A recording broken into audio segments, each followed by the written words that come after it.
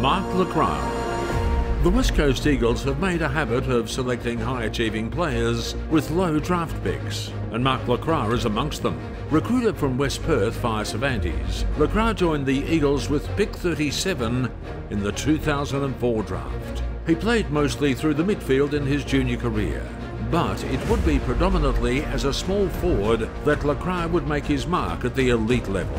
A magician, where his innate goal sense so often created something from nothing.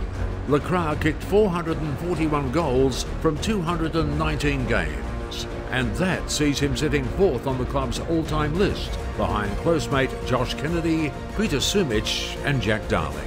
After playing in the qualifying final against Sydney in 2006, he lost his place in the team and he had to wait until 2018 to taste the ultimate team success. He retired after the stirring victory over Collingwood, having twice been the club's leading goal kicker, winning the Club Champion Award in 2010 and earning an All-Australian jacket.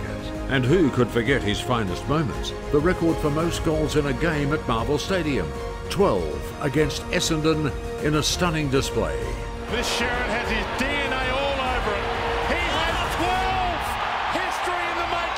Ladies and gentlemen, please welcome Mark LeCras to the West Coast Eagles Hall of Fame.